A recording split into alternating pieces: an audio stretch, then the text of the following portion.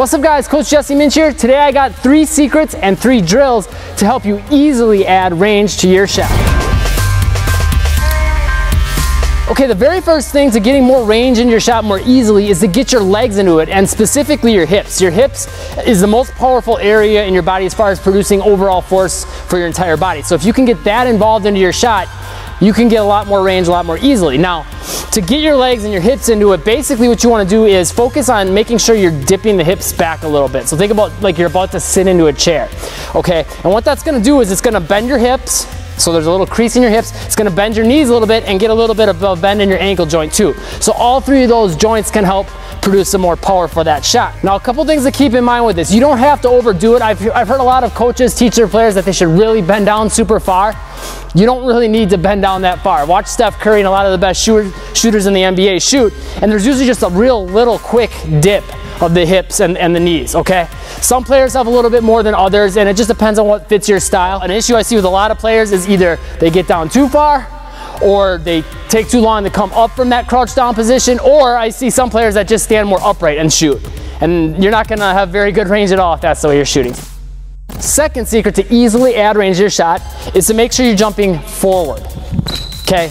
One simple thing you can do is work on shooting, you know, by a, the free throw line, three-point line, whatever the case may be, and just focus on when you shoot that when you land, your feet land in front of the line. I guarantee if you go out and try it after you watch this video, you're gonna notice a big difference in how easily you're, you're, able to get that shot further. And basically it comes down to, again, making sure you're getting your legs and your body momentum going towards the hoop. And that's gonna make it a lot easier to transfer more energy to, towards the hoop if everything's moving that way. A lot of players I see, they jump straight up and straight down or even slightly back on their shot. Try to make sure you're jumping slightly forward, okay? One other thing, don't try to lean into the shot with your torso. Just focus on jumping forward more with your feet, okay? So when you jump, you know, your shoulders are almost gonna kind of stay in one spot as your feet are coming forward. That'll produce momentum and power going towards the rim, but at the same time, kind of relax your shoulders back so you can get a good high arcing shot. And then the third tip is to keep the ball tight and compact. And what I mean by that is keep it kind of close to your body, okay? And what that's gonna do is, it's kind of how we talked like when you load up in the hips, right? You bend the hips back so that bends your knees and your ankle joints and your hip joints so you can produce power. Same thing with your arms. You keep the ball tight, look what it does. My wrist is back, bent back so that can produce power. My elbow's bent, my shoulders coming back a little so when I come up, everything can extend straight and produce extra power into the shot. Okay, so three drills to make sure you're putting all three of these elements into your shot. This first one is a little bit more unorthodox. Generally, I don't have players do all kinds of crazy stuff like this with their drills, um, but this can be helpful if you if you're noticing, you know, you know, have someone watch you or film yourself, and if you're not getting those hips back and down on the shot, this is a good drill for you. Okay, so there's two ways you can do it. You can do it just from sitting down, coming up and shooting. And then once you get the feel for that, you know, like 10, 20 of those, then you can just go from standing up, butt to the chair, and then go up for the shot, just to get in the habit of loading the hips. Now, generally speaking, again, in your shot, you're not gonna wanna bring them back down this much. The reason you would want to do this though is if you're in the habit of not doing this, this kind of exaggerates that motion so it makes it easier for you to get in the habit of just getting that little bit of a hip load into the shot.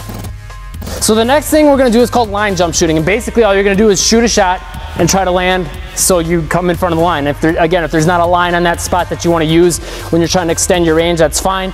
Just make sure your feet are landing forward.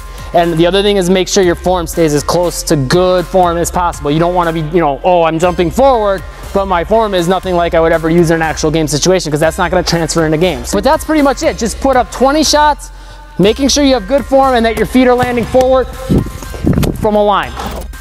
Okay, and then the third thing to help make sure you keep that ball tight and compact is what I call tummy touch shots. And it might sound kind of funny, but basically it's what it sounds like. You're gonna have the ball touch your tummy. You're just gonna tap your, not the middle of your stomach, but more on the side of, of your shooting hand side and go right up to your shot from there, okay? Just take 20 of these shots. So here, go up for the shot.